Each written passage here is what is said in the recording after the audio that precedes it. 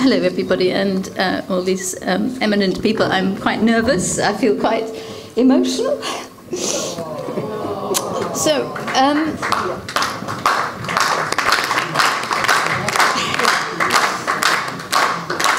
um, first of all, um, I'd like to just say something to Adam. My name is Diana, not Dia.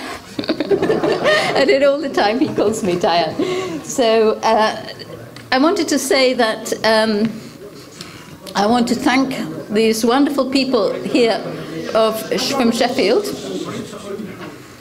because I, I cannot tell you how supportive they have all been to me and how kind they have been to me and I'm a, I am very very proud to be a part of their community thank you um, I'm so proud to be uh, a member of a friend of Somaliland and a friend of ISRAC and I want to especially say to um, to Adam uh, you cannot cannot have a better person, a better advocate for Somaliland in the whole of the United Kingdom than Adam.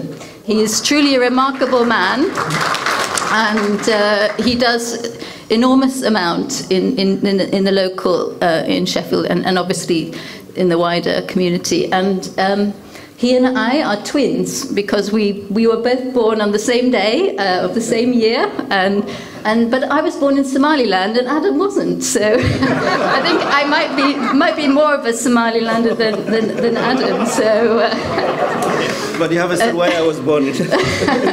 in Kenya, was it? Yeah. Kenya, yeah. So um, now I wanted to say. Um, when, when Edna talked about uh, giving birth, um, difficult birth, and I thought she might be talking about me because um, because I think I was a breech birth, so I, I was, probably wasn't a very easy birth for my mother. Um, but um, uh, so so Somaliland has always been very close to my heart, and.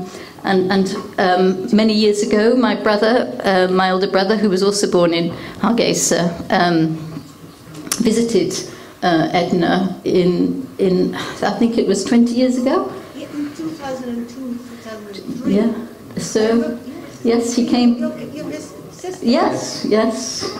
Yes. Two for the price yes, indeed. So, um, uh, I, I also wanted to say that, um, you know, I think that the, the time is now, actually, um, for Somaliland to be recognised. And I think the momentum is there uh, within the, the, the, people that you have here and, and the people, uh, the likes of Gavin Williamson and, and, and, the, and, the, and the rest of the people. I think, I would really like to think that the time is now for Somaliland to be recognised and with all the, the work that has um, been done.